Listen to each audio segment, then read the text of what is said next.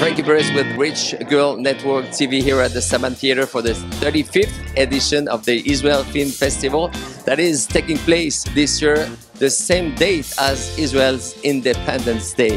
A piece of movies, a piece of art from Israel is shining in Hollywood. This is the red carpet. Stay with us. Rich Girl Network TV.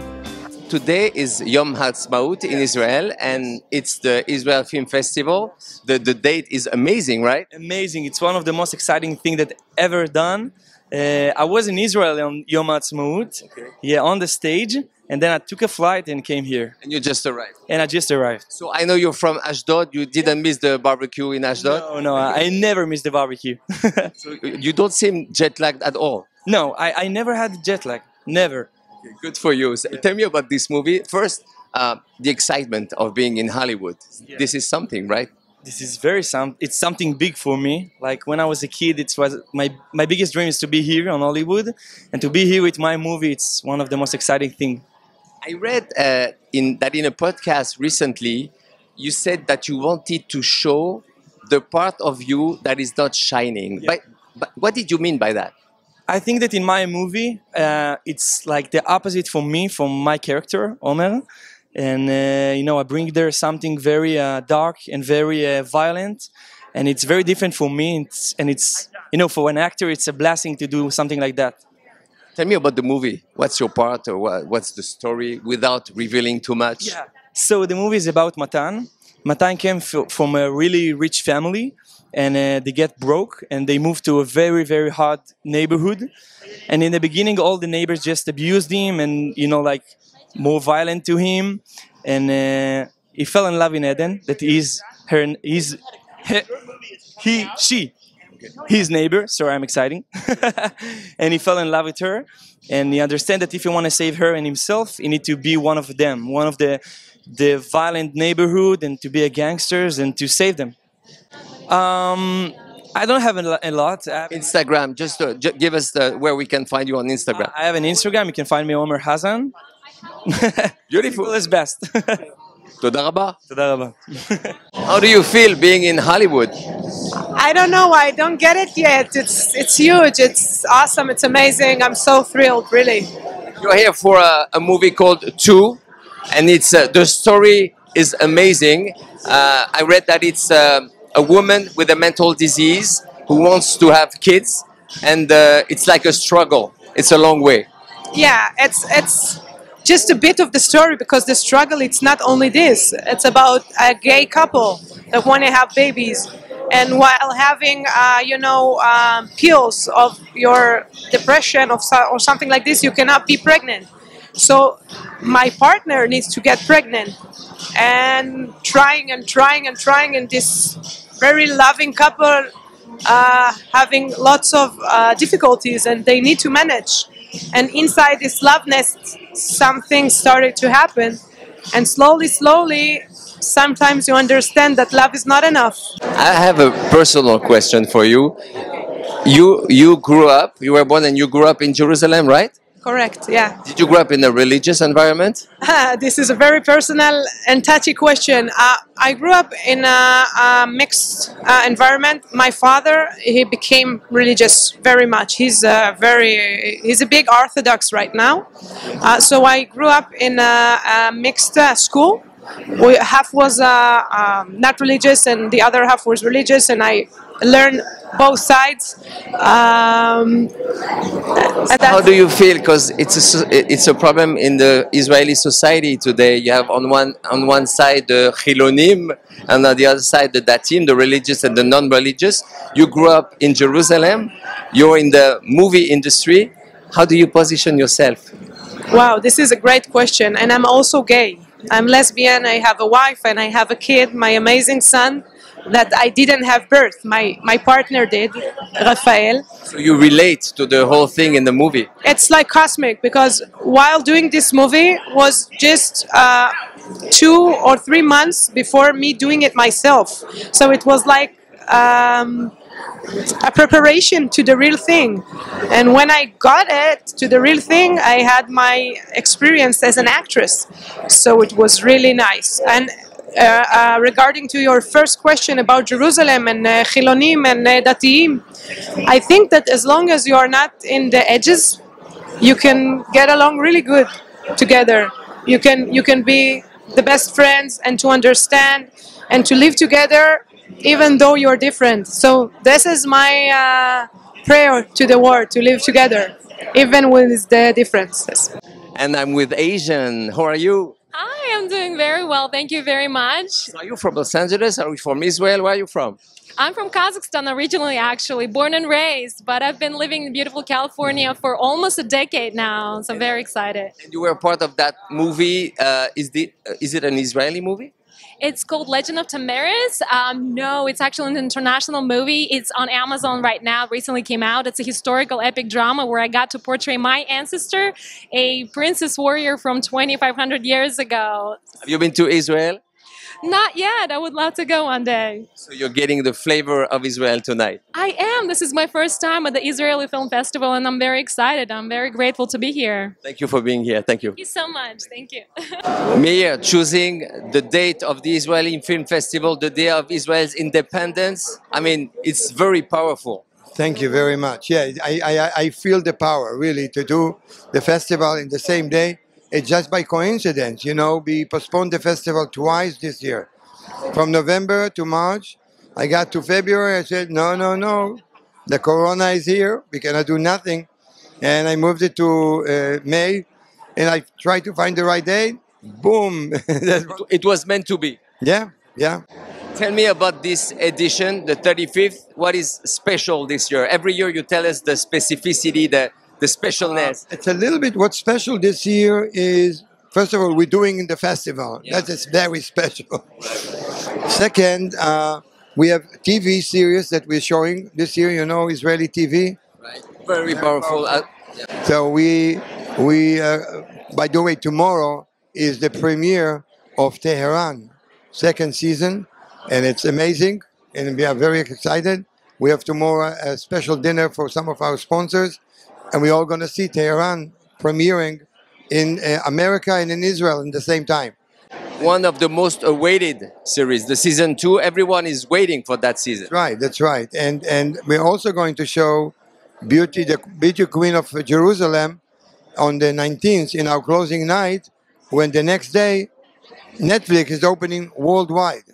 So we're doing a premiere for TV. We never did that before. So that's very exciting. I was a student in Berklee College of Music in Boston, trying to make it in the music after I already did it. I used to be in a rock band. I know you know that? Yes. In Poogy in Kaveret. And I tried to study music when I was 30 years old. But uh, I find suddenly somebody gave me as an idea. I wanted to bring two movies to Bo- BU, Boston University. And I went to Israel, and somebody asked me, You're putting together a festival? And I said, Hmm, interesting idea. And that's what I did. The first one was in Boston, six films, one theater. But what was interesting, that after the first screening of The Troop, a film that I'm acting to, a doctor came to me and said, Listen, everybody here in Boston should come to this festival. Are you going to advertise in Boston Globe? I said, No. He said, Why not? I said, I'm a student in Berklee. I don't have money to advertise in the Boston Globe. I will pay for it. Where's the ad? He put an ad, and Sunday, my last day, five screenings, sold out all the screening. 600 people, almost 3,000 people. I came out suddenly financially successful. Three weeks later, I was on the way to New York to do my first festival in New York. Wow, amazing. And, and today, many, many years after, it's amazing when you look at it. At the time, at the beginning, Israel, like the rest of the world, was watching what was happening in America, right? Today, in, the- in, in the television industry, the whole world is watching what Israel is doing. Yeah, that's amazing. I'm, I'm very proud. And And, you played a part in that. uh, I, yeah, in, in promoting it. Yeah, thank you. Yeah. Thank you, Meir. Thank you. My Always a pleasure. I hope everybody will come to the festival. We need all of you to come to the festival. Thank you. And I'm with Ehud Bleiberg. Good evening. Good evening.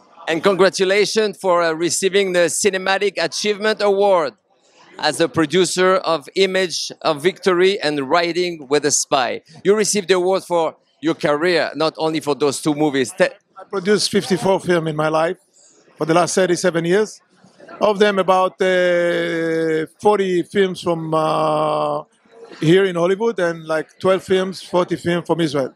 Every, every honoree that you get, it's exciting you, and especially on a film that I've done in a memory of my dad. He's playing in. The, there is a character that play my dad, you know, with the cow. You will see there. So this is a very special movie for you. Today is also very special because it's uh, Yom Ha'atzmaut in Israel. Yeah. Yom Ha'atzmaut, Techi Israel. Image of Victory is a film about a young group in a kibbutz that 22, 25, 18, 19, that one day the the clouds come upon them, become gray, and the Egyptian came to uh, invaded Israel and to try to take the place.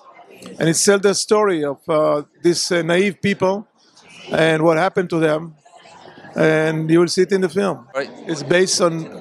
It's a original screenplay that uh, based on. Uh, uh, it's inspired by a uh, historical faction. And tell me about the second movie, Riding with a Spy. It's a film about Anat Kam. She was a soldier, young soldier in the army, and she took some document and leaked them out to a journalist. And they accused her in treason, and she was sitting in a jail. And tell the story of what happening after that to her life. Congratulations, Chazak Ubaruch. Thank you. Thank you very much. And I'm here with my brother, my dear friend, the president of the Jewish Journal, David Suissa. David, bonjour. It's great to be here, Frank. Uh, should I speak en français, en anglais? Doesn't matter. We can speak in Japanese, uh, you and me. You know, everything is possible. So today is Yom Ha'atzmaut, Israel Film F- Festival at the same time as the Yom Ha'atzmaut. It's a great symbol. No, it is, and I think the the whole idea of Israel as a happy, vibrant, creative society comes out the most on nights like this.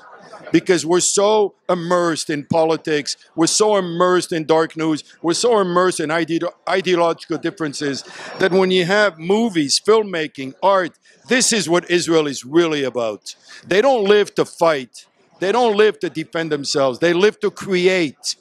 And movies is the ultimate epitome of creation. You know, I'm going to ask you a question that I will not be able to ask to anyone else tonight. Okay? Wow. Do you feel, David? No, I, I, that- do you feel like the Israel movie industry is conveying the Jewish values today? You know, I think the great thing about artists, they don't really care about conveying values. What they care about is entertainment above everything. They realize that, you know, the people who convey values maybe are journalists like me or rabbis, they convey values. I think when an artist does his thing, he conveys a certain value. And whatever value he may have, if you see the show Fauda, it's unbelievable. The value that I see there is the value of capturing reality in as authentic a way as possible, rather than the value of having a political agenda. I didn't feel any agenda in that show. So if you ask me what values did the creator of Fauda convey, it was the value of creating authentic storytelling. And then the people, the viewers, they make their own opinion. and then they make their own opinion. In fact, you know, if, if I want somebody to understand the complexity of the Arab Israeli conflict, I'll send them to Fauda. It does it as good as any book because it does it indirectly, it does it through storytelling. Thank you so much, David, for being here. Always a pleasure. Good evening, Daphna. Good evening. It's so wonderful to be here. And it's so wonderful to see you. I heard the name and it sounds so French. Cinémoi.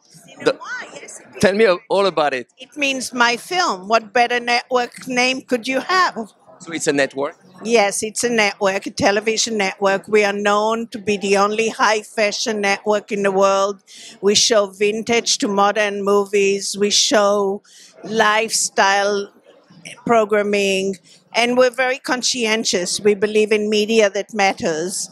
And I just offered the movie Os- Osley to be on our channel. Cinémoi is everywhere, and all you have to do to know is go on to Cinémoi, C-I-N-E-M-O-I dot TV, and you'll find out everything.